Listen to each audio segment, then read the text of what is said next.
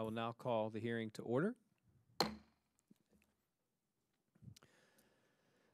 In this time of fiscal belt tightening, too many of America's small businesses are faced with unfortunate choices either cut costs or close their doors. Taking measures such as de- delaying plans to expand and even cutting their own salaries, small business owners have done their best to weather in these trying times. For a majority of small businesses, however, one of the costs they've been unable to trim has been the fees they pay in order to accept card payments from their customers. These fees, commonly known as interchange fees, are paid to banks and card processing networks every time a consumer swipes their card and makes a purchase. While on average these fees are 2 to 3 percent of a transaction's total, the costs can add up quickly for a small business owner. The recently passed financial reform law includes a provision that gives the Federal Reserve the authority over these fees for the first time. The use of debit card purchases has grown steadily in recent years as consumers have made increased use of debit cards in lieu of cash or checks.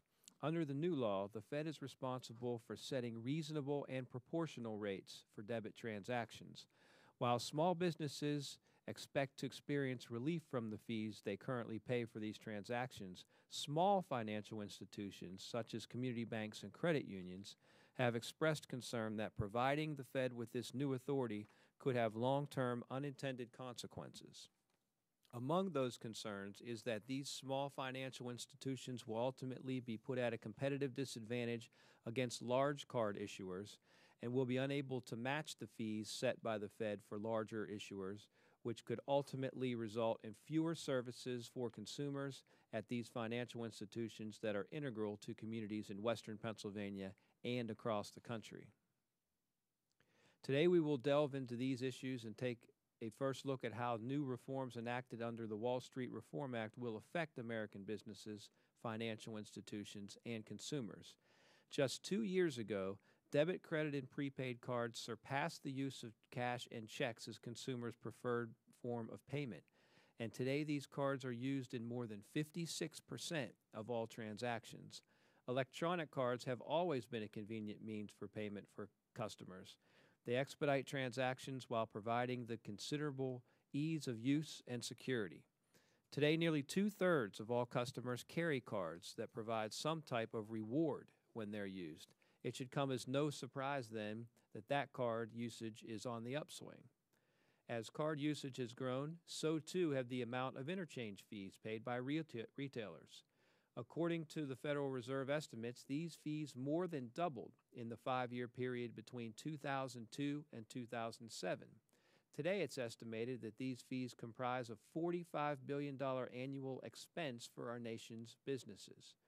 For businesses that operate on razor thin profit margins, fees on card transactions can mean the difference between a profit and a loss each time they sell their goods.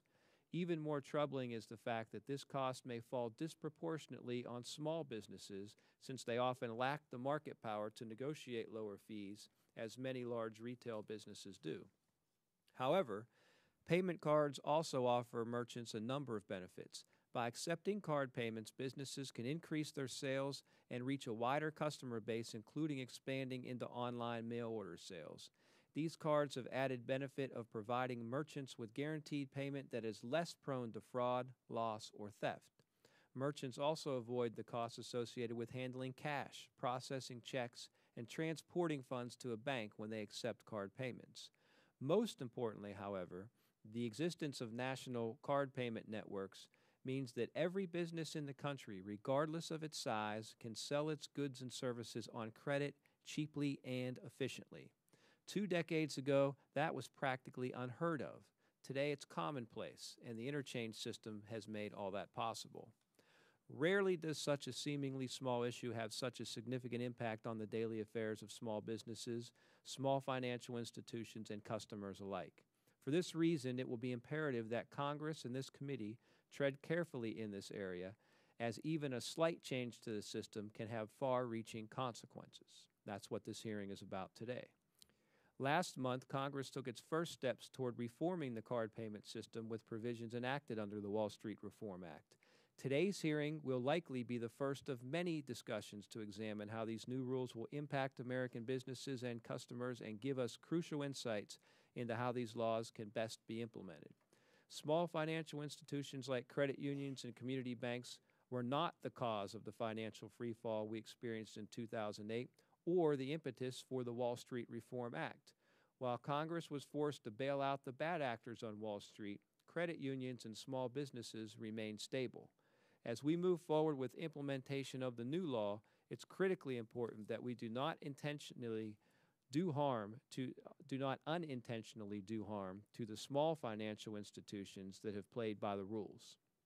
I'd like to thank our witnesses for their participation in today's hearing. I look forward to your testimony. And uh, as we wait uh, for a ranking member, in the interest of time, we will just move forward with the hearing. And I will introduce, starting with Mr. Newton, our witnesses. I, I'll read about all of you first, and then we'll, we'll go to the testimony. So the bios for the four of you, and thank you all for being here. Mr. Chris Newton is the president of the Texas Petroleum Marketers and Convenience Store Association located in Austin, Texas.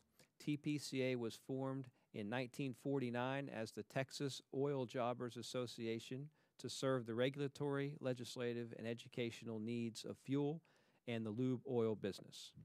So I changed my mind. Why don't we just go ahead with Mr. Newton first, and then we'll introduce all of you. Welcome, Mr. Newton. Thank you, Mr. Chairman. Again, my name is Chris Newton, and I appreciate this opportunity to talk about the impact of interchange fees on small businesses. As you alluded to, uh, I am the president of the Texas Petroleum Marketers and Convenience Store Association, or TPCA.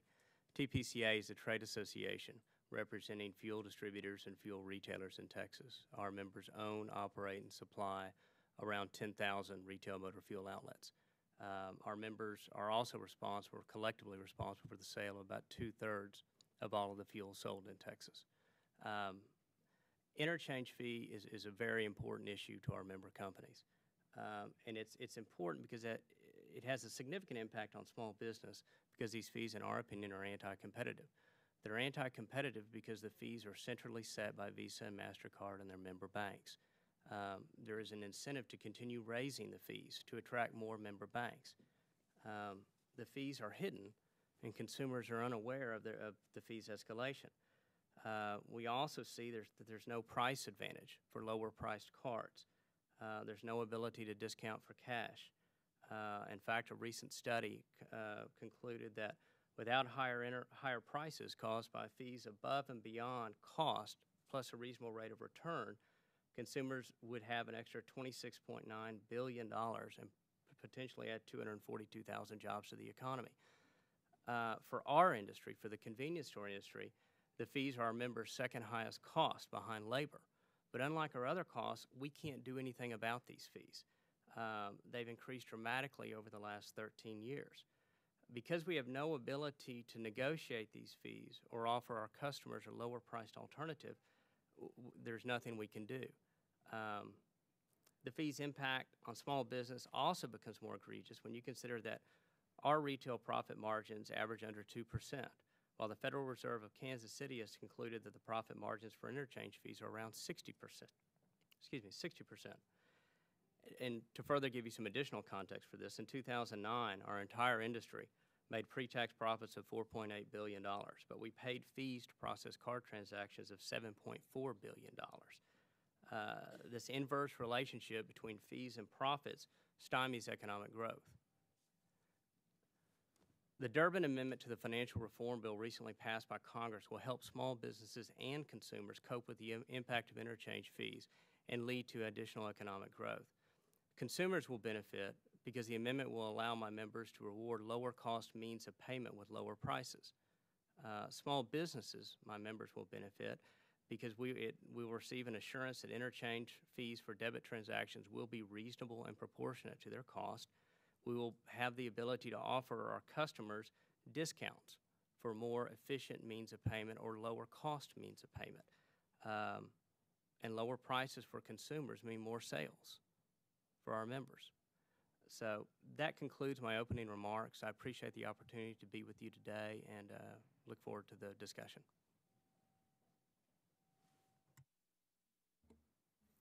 Mr. Salashi, is that correct?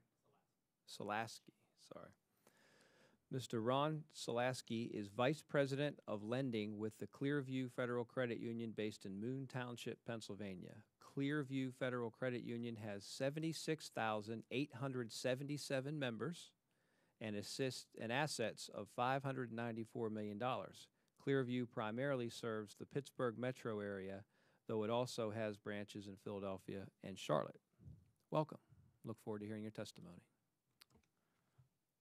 Good morning, Mr. Chairman, and thank you for the opportunity to testify at today's hearing. Uh, as you mentioned, I am Ron Salaski, Vice President of Lending at Clearview Federal Credit Union. Uh, just a little background on, on the credit union. We initially served the employees of U.S. Airways and modified our charter back in 2004 to serve communities in a 10 county area surrounding Pittsburgh, Pennsylvania, so our charter is a little bit expanded. I do appreciate the opportunity to present our views on interchange, what it means to small businesses, and also what it means to my credit union.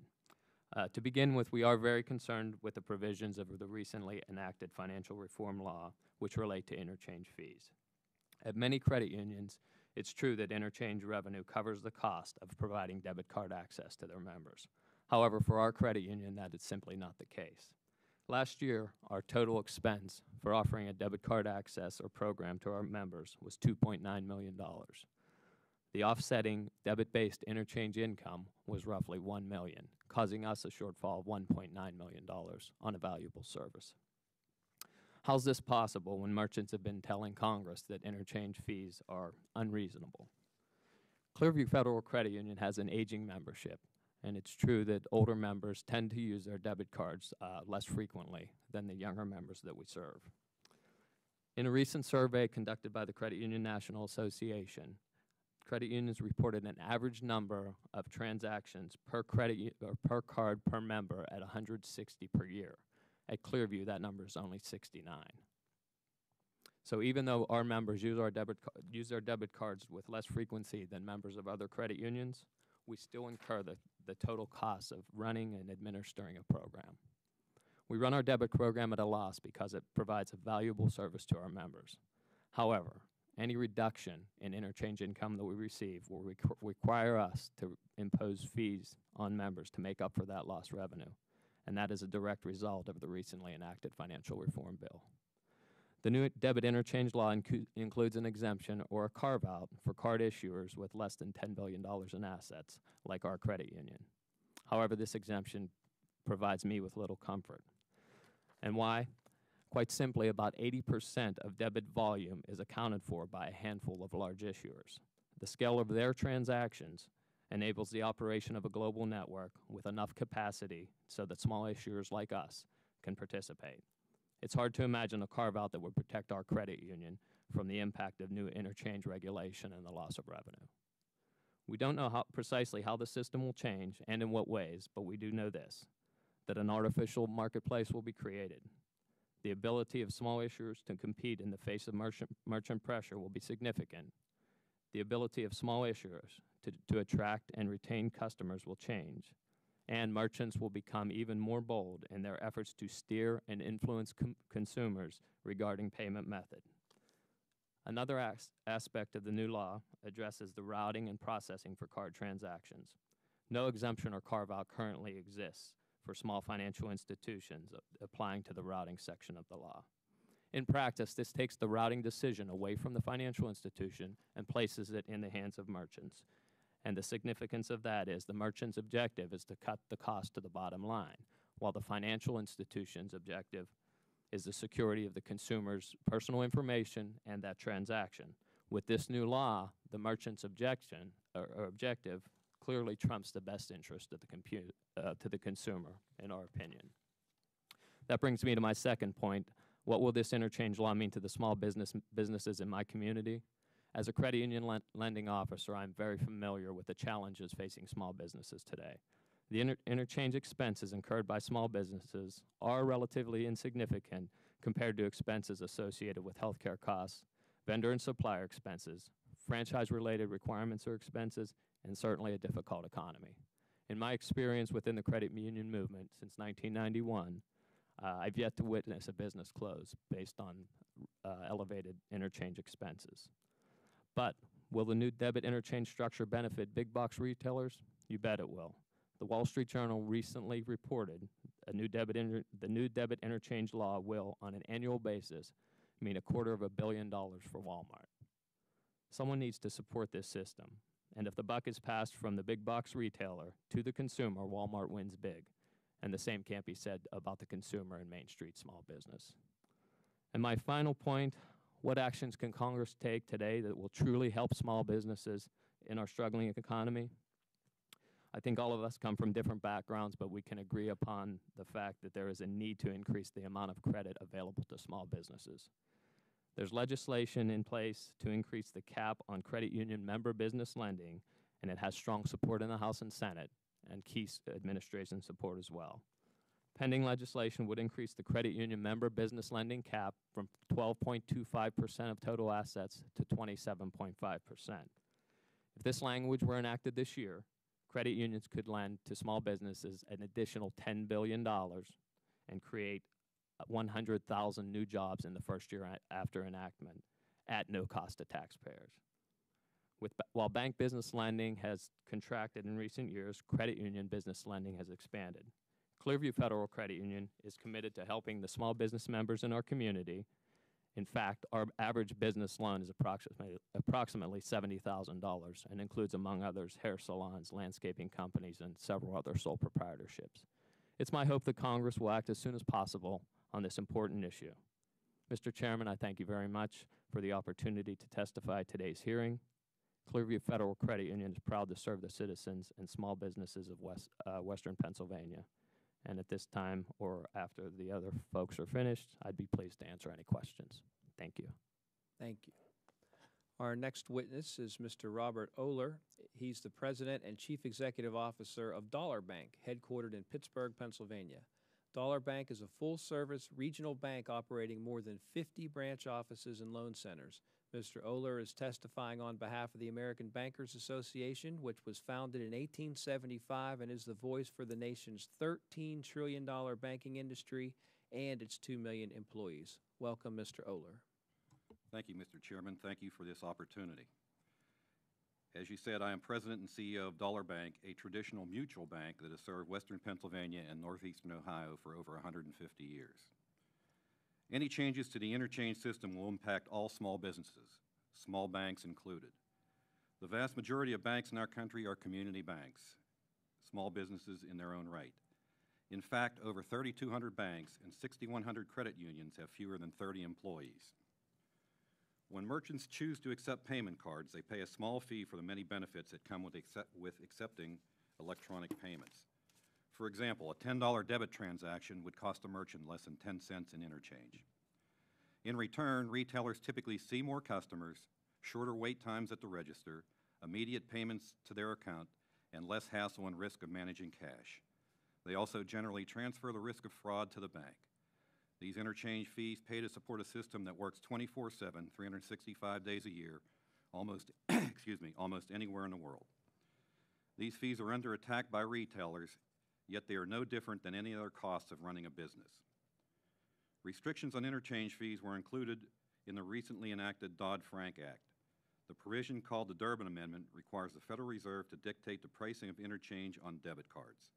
The Durbin Amendment, which was added to the bill without any hearings, limits consideration of many important costs of providing debit cards and does not even allow for a reasonable return on investment.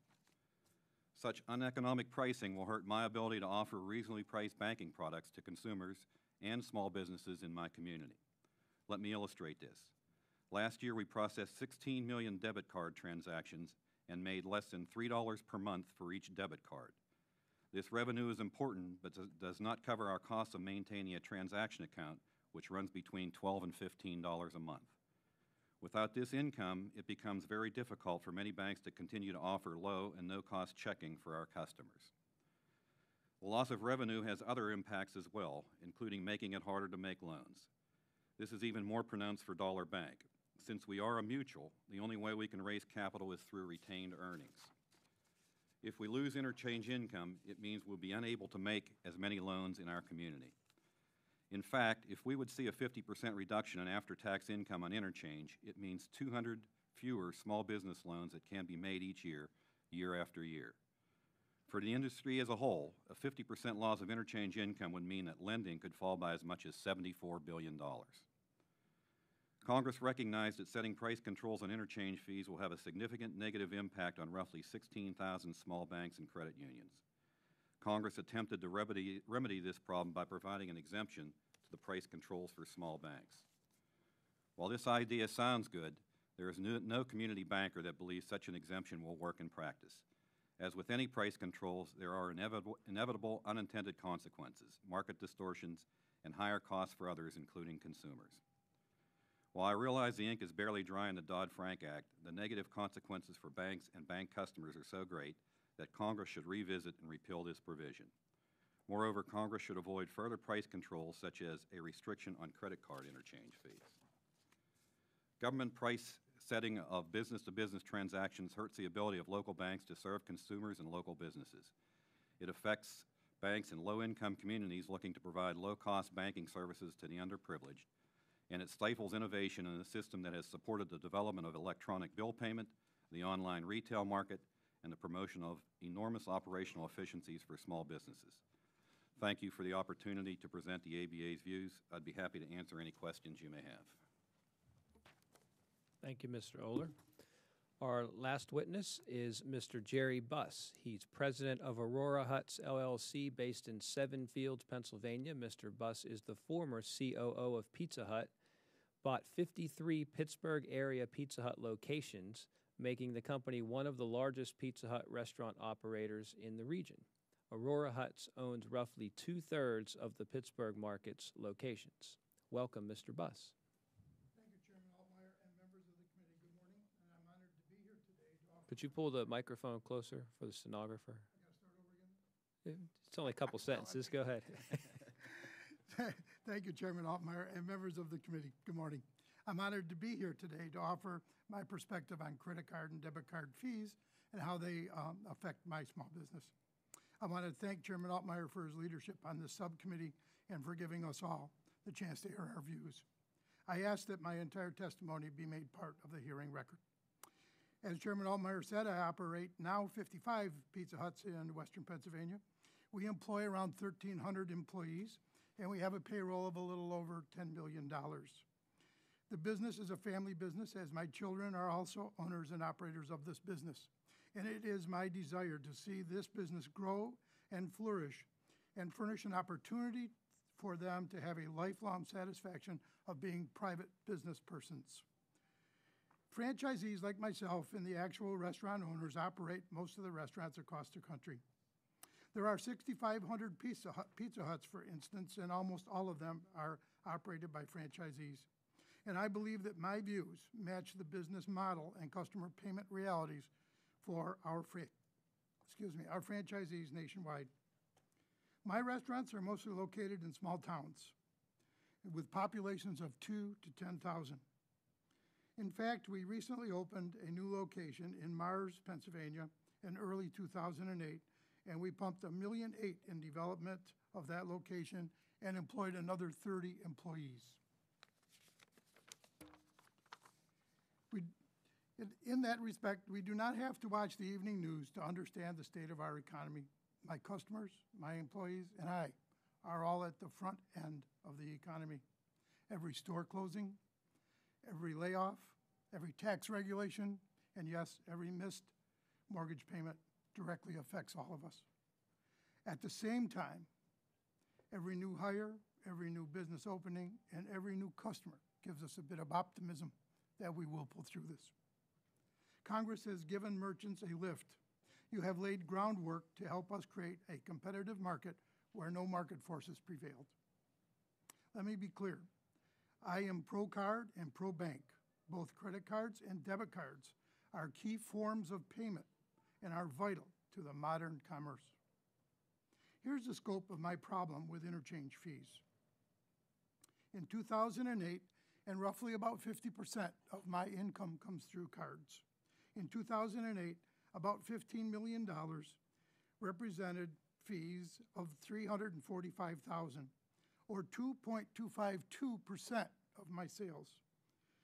As we look at 2010 and as of July 17th, I had about $10 million in cards, uh, money generated through cards and fees, and I paid $249,000 or 2.443. That's an increase over two and a half years of 8.5% in my fee charges. Under the new rules, I'm assuming that those fees will be more competitive and be reduced. Much, and much has been said about where that money will go. Will it go to the consumer or will it go in the merchant's pocket? I want to reinvest in my business as I believe all private entrepreneurs do. To kind of give a demonstration of how we did this, this year for the last eight months, we have reduced our prices to the consumer in a $10 any large pizza. That's $10 any pizza, any toppings, and it's a discount of over $8. We ran that for over eight months, and we do believe that the community in our neighborhoods enjoyed that, thought well of it, and we picked up traffic to offset some of that. I believe that as we do multiple efforts and we look for volume relationships, that we can have reduced costs. All right? If I could uh, just save the project, uh, the money uh, off of what we think the cost of raising in uh, 2010 would be, that would be $20,000. That would supply part of equity for a new building. It could be the addition of new menu items. It could be the revamping of our merit system for our employees. There are plenty of places within the economy other than the entrepreneur's pockets that that would go. In fact, the word greedy has been used, and I would say if you're truly greedy, you're going to be doing those things and growing your business. Thank you very much for the opportunity to speak to you. Thank you, Mr. Buss. And as a resident of your area, I can tell you that that $10 pizza deal does in fact make a difference. I have two kids, and, and we have uh, kept you in business, helped keep you in business. Thank you. Sure. Th- Thank you all. Th- This has been very instructive, and as you can see from the turnout we have among the, uh, the public here to watch the hearing, this is an issue that has drawn great interest. And the Wall Street Reform Bill, of course, had any number of, of items in there that drew great public interest. But I will tell you, in the two years leading up to passage of that bill, there's no issue that I heard more about from more different people and coming from more different angles than the interchange fee. And that is the purpose of this hearing, is to bring you here, and the entire committee will benefit from your testimony. As you can see from the diversity of the testimony, this was not an attempt to skew uh, what we were going to hear. We wanted to hear all sides of the debate, and you, you have done great in, in representing all sides. And I wanted to begin by asking each of you the same question, just to put in perspective what we're talking about and maybe the different opinion on the same question. And it's, it's very simple. Most people in the country when they go shopping, whether it be in Texas or, or Pennsylvania or wherever, generally, most would go to a chain uh, grocery store of some sort. We have Giant Eagle and, and Shop and Save and others in Western Pennsylvania. I don't know if you have Publix or, or Safeway or what, what Texas has. Um, but if, if you go out for an outing with the family, and of course, this bill only pertains to debit cards, and some of you alluded to the, the way that's going to affect credit cards as well, but I'm going to ask the question on credit cards for that reason. If you go out, you have dinner at a restaurant, chain restaurant, you go shopping at the grocery store, maybe buy some gas at the corner gas station, use your credit card each time. What is the impact to the consumer from this regulation once, say, a year from now, when, once this is fully in play and everyone has adjusted how they're going to going to adjust? What what am I and my family going to see changed as a consumer for our credit card purchases for that evening of having uh, bought the, those three different items, Mr. Buss? Yeah, I, I think you would see um, on our behalf uh, an altering of the offerings and the prices that we have to charge for those offerings. We we are very um, sensitive to the um, uh, average check cost of our um, customers, and we try to lower that every possible way we can. So we'll pay more, No less, less. less. Okay, Mr. Oeler. I think what you'll see, uh, many cards today come with some sort of rewards attached to them. Uh, They also tend not to have fees. I think if anything is altered along those si- uh, lines, uh, the rewards will uh, begin to disappear as well as we'll be looking, uh, as we once did when credit cards were in their infancy, uh, annual sort of fees uh, uh, to carry the card with you. So we may not see more each time we use the card, but we'll pay more to have the ability to access that card. That's correct, yes. Okay.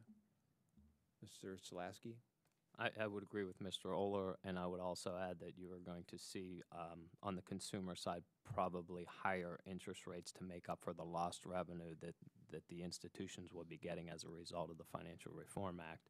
Um, you know, in our case, at least on the debit side, we're looking at slicing that revenue in half and creating even a, a larger deficit, which we would have to pass on the cost to our members, um, which is something we're certainly averse to doing.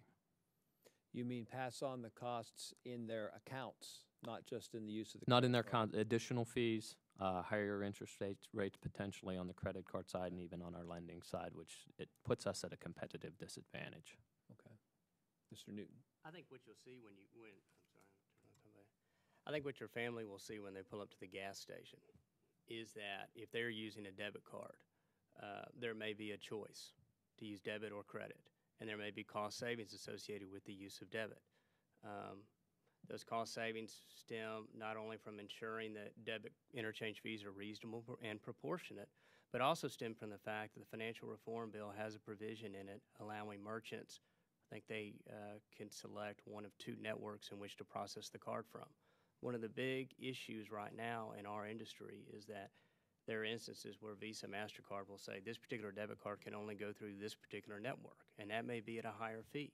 And so the Durbin Amendment and the Financial Reform Bill limits that to a certain extent and says, no, you, you can't discriminate amongst these networks. So there may be a cheaper alternative. And I think, especially as it pertains to gasoline, you will see our industry, you know, doing all they can to bring those efficiencies to the marketplace to attract more consumers and hopefully lead to more sales. Thank you. And I, and I asked that question. Let, let me just say, first of all, Mr. Buss, you asked that your testimony in total be included in the record. And I wanted to say, for the record, all of your written testimony will be included in total in, in the record for the committee. I, I asked my first question so that Mr. Oeler and Mr. Salaski could, could answer this question. The amount of interchange a business pays can vary widely from one business to another, as you both mentioned.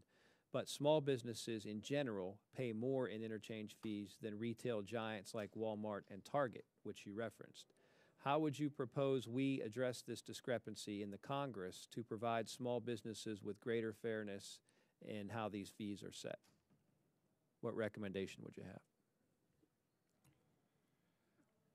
We tend to mainly deal with small businesses, and, and our card, uh, you know, our fees are established, uh, you know, through the, uh, the network. Uh, So uh, our fees tend to, uh, to be the same across the board.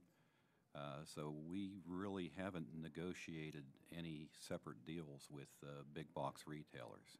What about on behalf of the American Bankers Association, when you, when you would have banks that have maybe a larger scope than that? Is there a different spin to that? Well, I think what would happen if there, if there is the ability to, uh, uh, to have different fees for, for different institutions based on their usage, uh, uh, I think the customer would be at a disadvantage, uh, you know, depending on the card they hold. For instance, if the big banks uh, uh, are able to uh, have the discount and the small banks uh, uh, would not, uh, would be, our card would be disadvantaged to that retailer. Uh, So thus, uh, there might be some, uh, some reason for the retailer to try to, uh, to move the customer to another type of card or suggest another type of card uh, so they can maximize their revenue.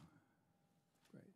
Mr. Salaski, do you want to comment on that? Yes, we, we don't believe that the, the proposed two-tier system, if you will, um, in practice is something that's viable. We believe that the 80% volume that I mentioned by a handful of issuers does not uh, motivate that group to a tier two, two-tier issue. Uh, they would want to keep it at a one-tier, uh, one tier, one rate tier, if you will, and that puts us again at a disadvantage in our small businesses as well as our individual members as well.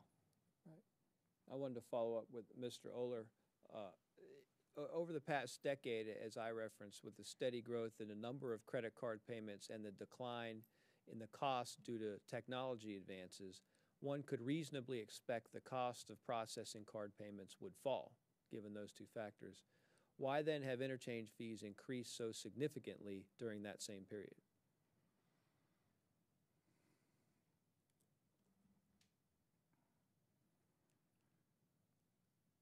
The costs of business uh, always go up. I, I don't think it's been usurious, the increases. It's just a, a matter of maintaining a system, as I said, that operates 24 7, 365 days a year. Uh, the system itself always requires uh, upgrades, new software, new controls. Uh, uh, fraud situation has increased uh, over the years. We've had some breaches in in cards that the cards have to be reissued and so on and so forth. So I think the increased cost helps compensate uh, for that end of the business. Uh, Mr. Buss, some have argued that capping interchange fees could result in a contraction in credit availability and a reduction in the number of rewards programs that over 80% of consumers currently enjoy. You heard both of our witnesses answer uh, recently to that.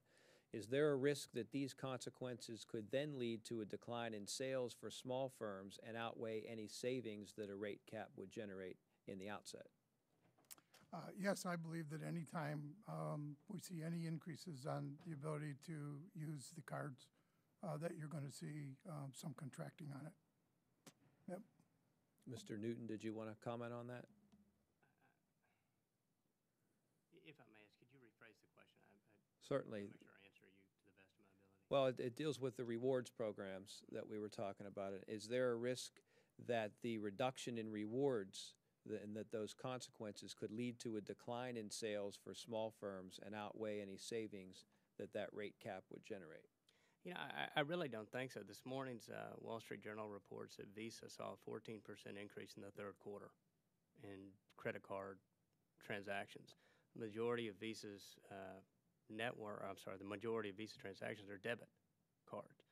So, you know, I think that there's a lot of choice out there, and I think as consumers are given those choices, they're going to make intelligent decisions about which way to go. I think right now we have a system where, and this is an example from my office, um, one of my uh, employees opened a checking account with the bank and got a debit card from the bank, saying, "Here's your debit card." And on the debit card, on the piece of paper that it came with, it said, "Please, when you go to a retail marketplace, tell the retailer to ring the sale up as credit signature." Credit signature is obviously a much higher rate than PIN. It was a debit card than PIN debit. Mm-hmm. And if you do that, we will then give you 450 reward points. So there's an incentive to steer the consumer to a higher priced fee transaction, even though signature credit is much more prone to fraud and less secure than using, s- excuse me, than, than using a PIN debit. And so that's one of the issues that I think the Durbin Amendment, I know the Durbin Amendment addresses. And I think that's to everybody's good. And do you have the ability right now to incentivize cash and check transactions from your It's- consumers? it, it, it's hard to answer. I know that the Durbin Amendment, Durbin Amendment explicitly authorizes discount for cash. Uh, another anecdote from Texas, if you'll bear with me. Uh, one of my members um, attempted to offer um, gasoline, offer a discount for cash for people who use gasoline. And a representative of Visa or MasterCard happened to be driving down the road and pulled into the store and said, What are you doing? Um, and he said, Well, I want to give people a discount for cash. He had contacted me. I discussed it with uh, staff from our state AG's office, and they said, under Texas law, it's, discounting is permitted. The representative of the card company said, Absolutely not. It's against our rules. He called me and asked me about it. I said, Well, I ask him to show you the rule, and then we can distribute it to members of our association, just saying you need to be aware of this compliance issue. Um, he then, the Visa MasterCard person claimed that I can't show it to you. But it, but trust me, it's against the, it's against the rules. So this merchant was left with the choice of, okay, do I discount for cash and run the threat of Visa MasterCard knocking me out of the system and suspending my access to the network? Uh, or do I continue to offer this discount for cash? And he chose to not continue that practice because he was afraid, and I think all retail merchants are afraid of that threat because Visa, MasterCard control, I believe it's 80% of the market. Thank you. I wanted to get back to our witnesses from the credit union and, and bank side and uh, start with Mr. Oeler. Under new provisions of the Dodd-Frank Wall Street Reform Act, merchants will have the right to offer discounts not only for cash, but also for checks and debit cards. Will these changes in the law have an effect on credit card use as you see it? When we talk about offering discounts, I'll just present uh, our information. As I said uh, uh, in my testimony, we, uh, we had 16 million transactions we processed last year. The average ticket of that transaction, or the average transaction amount, was uh, right around $35. Uh, When you're looking at uh, debit cards, uh, uh, you're looking at less than 1%. So I guess, is it realistic that the retailers would offer a discount of 35 cents, you know, on a transactional basis? Mr. Salaski? As far as um, the discount for cash checks and debit, I, I don't know that it would have that great of an impact solely because the this the convenience and the popularity of the debit card transaction, people are more um, more likely to carry the debit card than even cash and checks these days as far as a payment processing. So what I, I do believe we would see is is a decrease in the transactions on the credit side as a result of the discount significantly. Talk about, for the two of you, and then I'll go to Mr. Newton and Mr. Buss as well. Are there risks that the consumer will be confused or frustrated by having two different prices for goods depending on their chosen method of payment, if this were to lead to that? I would believe so because I believe the consumer considers that plastic a credit card, whether it's debit or credit, as their form of payment, regardless of it coming out of their checking account or, or being a revolving line of credit. So there is a risk of confusion. I think one important point to add to all this, too, when we're talking about discounts and uh, reducing the interchange rates, is the liability for any fraud or problem on, on the plastic transaction lies with the institution, not the consumer and not the merchant. So those costs have to be um, considered when we talk about the interchange income that we're receiving as well. Mr. Oeler? I would agree with, uh, with uh, uh, that comment. Uh, I think we had a huge breach up in the New England area that had uh, ramifications across the country uh, when we had a breach in their card system. I know we had to reissue several thousand cards ourselves. There are other members of the ABA that I talked to just last week. One in particular was a billion-dollar institution uh, located out in the Philadelphia area, and he had to reissue 10,000 cards. That stuff uh, comes at a, a, a uh, high cost to the institution itself, and we bear that cost, you know, through the current uh, interchange setup. Uh, Mr. Newton, do you have any concerns about different pricing levels showing the uh, consu- giving the consumers some confusion? Uh, Shortly, no.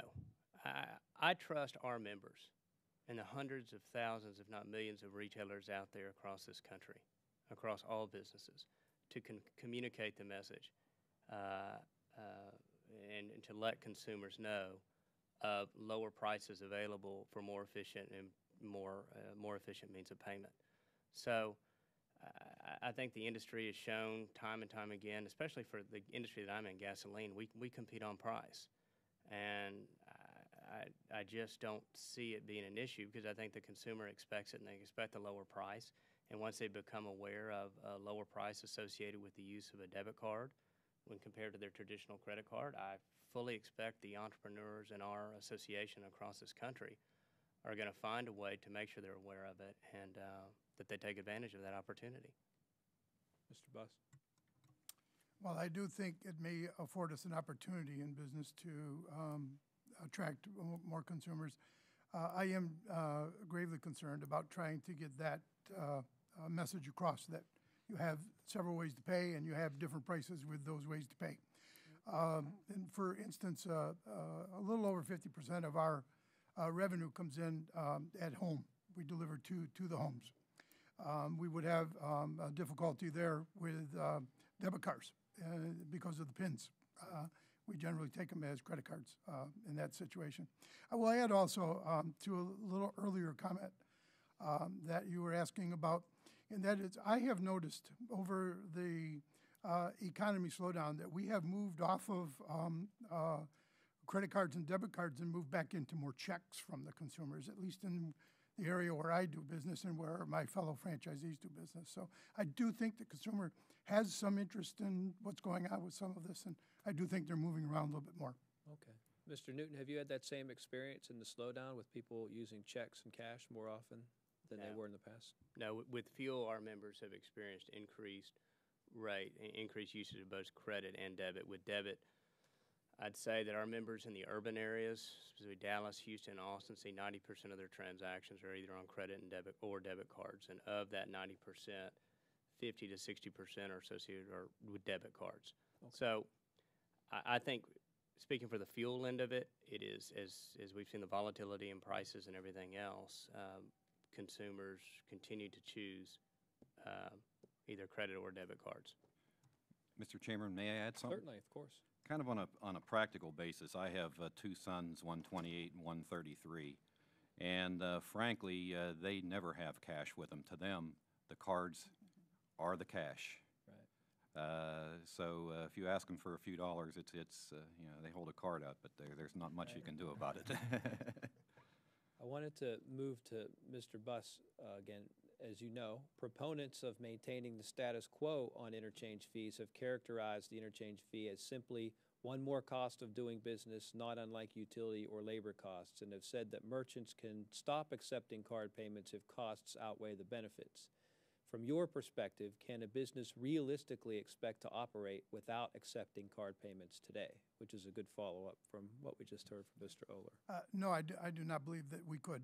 Um, Like with checks, that would probably um, be beneficial to move away from checks and into cards if you could.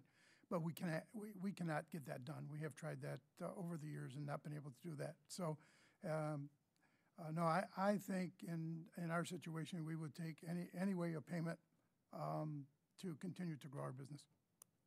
And a question from Mr. Salaski. Did you want to answer something on that? No. Okay. Uh, At a recent conference hosted by the European Central Bank, policymakers and banking experts suggested adopting a card fee system that took into account the cost that businesses would pay to operate their own credit card systems. Do you think that that type of system would have merit in this country? I believe that there should certainly be discussion um, and research into that. Um, any alternative that is consumer friendly and small business friendly, I, I'm in favor of. Uh, I would further say, with regard to, to the interchange that we as Clearview Federal Credit Union receive on, for example, a $100 purchase, uh, our revenue would be at something between $1.30 and $1.50, which, in my opinion, does not seem excessive or unreasonable. Mr. Oeler, do you think that's something we should explore in this country?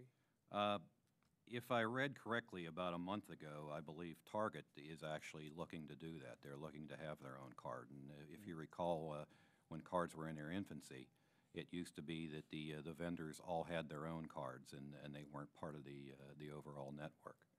So uh, it, it's possible you could see some movement back to that. I wanted, sticking with, uh, looking what other countries have done, I wanted to ask Mr. Newton about Australia. I don't know if you're aware that since Australia placed a cap on interchange fees in 2003, their central bank found a sharp decrease in the availability of rewards cards and no conclusive proof of lower prices for consumers. Why do you believe that tighter caps on interchange rates in this country would be met with better results than they saw in Australia? Well, it's my understanding that, that there was a study done by the Australian Bank that found that there was perhaps a billion dollars worth of, so there may be two different studies. My, my, my contention in regards, and again, speaking from the fuel perspective, is that uh, our industry is extremely price competitive. And our members are constantly looking for new ways to attract con- consumers or customers to their stores. Um, and so any, any means out there available that uh, this new law will put at their disposal, they'll take advantage of. And I- think I'm, I'm confident, and I, I would also, you know, bring up the Department of Energy has studied fuel prices and found that 100% of the cost decreases are reflected in retail gasoline prices. So I think we have a, a, a solid background of passing on those things. The Hispanic Institute issued a report that went to the same effect, that said the same thing, because consumers are already paying these fees. Um, so I'm confident that here in the United States, there will be some movement. As entrepreneurs, again, take advantage of the, the freedom of choice that this legislation provides. Thank you, and I would ask if your association could forward to the committee the study that you referenced, because we would love to see any further information. Yes, sir, I'd be happy to. Thank you. Uh, Sticking with Mr. Newton, the business community has consistently maintained the high cost of interchange is passed along to consumers and that the federal caps interchange could result in lower costs for goods and services. If interchange fees were capped, what guarantees would we have that those savings would be passed along to consumers? How do we Uh, know for sure that's what's going to happen? I, I, I think you know for sure because it's it's it's economics. Um, lower prices mean more sales, so it's to our members' advantage to ensure that they are offering the lowest priced products out there they can to attract consumers to their to their retail facilities. Um, our market does not allow a, a retailer to sit on margin very long. Uh, you can drive through any community and know exactly what we're selling our products for. And so the, just the competitive market forces are not going to allow that. And I think that's really what this bill addresses is that the competitive market forces are not present and how these interchange fees are set. Um, and this bill seeks to remedy that and to ensure that the fees are reasonable and proportionate, to offer choice or some semblance of choice when it comes to network processing. Mr. Buss, did you want to comment on that? Yeah, I would wholeheartedly support that. I do believe that this, uh, it, the lower you can drive the prices, the higher you can drive the business. Uh, I, I do think we look for tenths of a percent. May I add, say- may I add something, Chairman? certainly. Uh, The Durbin Amendment itself uh, does not allow for a reasonable rate of return. So uh, that's going to be an interesting discussion. Uh, You know, obviously, uh, uh, based on, based on Mr. Salaski, she and myself, you know, we need to make a rate of return too, uh, you know, a combination to stay in business and continuing to lend to the community. So, uh, you know, the fee has to be established to provide a reasonable rate of return. Mr. Salaski, do you want to have the final word on that? I, I would only add that, um, you know, with respect to, to Mr. Newton's comments on, and I have full confidence that he's, his, his group would do that, would, uh, reduce the cost as, as their costs are reduced.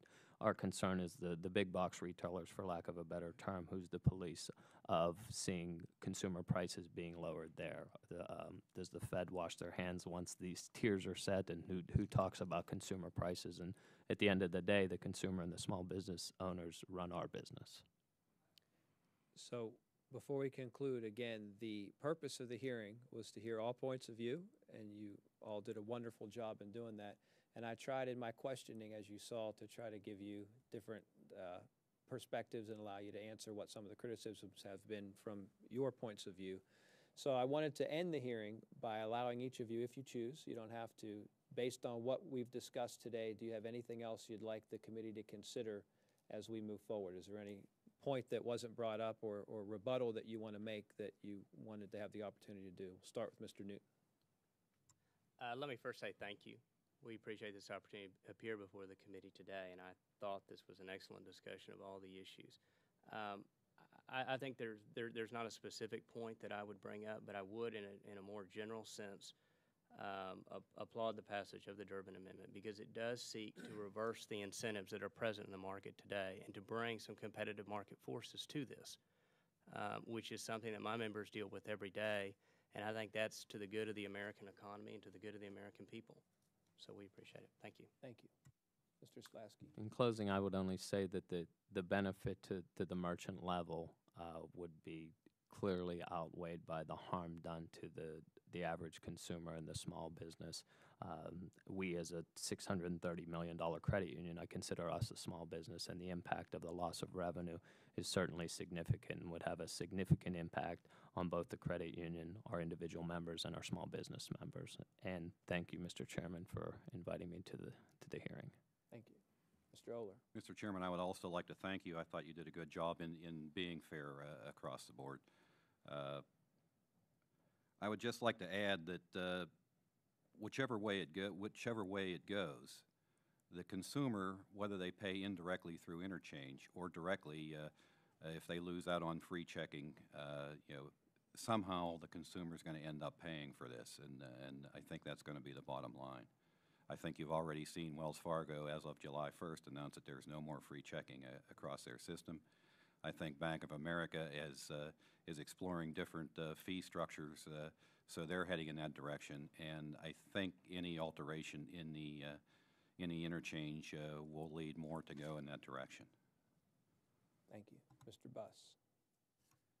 Again, uh, Chairman Altmire, thank you very much for being here. As I close, I would only ask, as we enter this uh, uh, phase of federal rulemaking, that the Oversight Committee be diligent and ensuring that the final bill that came out is as it was intended and is written. So, thank you. Thank you. Thank you all. This was a great discussion. It's the first of many hearings we're going to have on this topic, but we, I think we moved the ball down the field a little bit. And I now ask unanimous consent that members will have five days to submit statements and supporting materials for the record. Without objection, so ordered, and this hearing is now adjourned.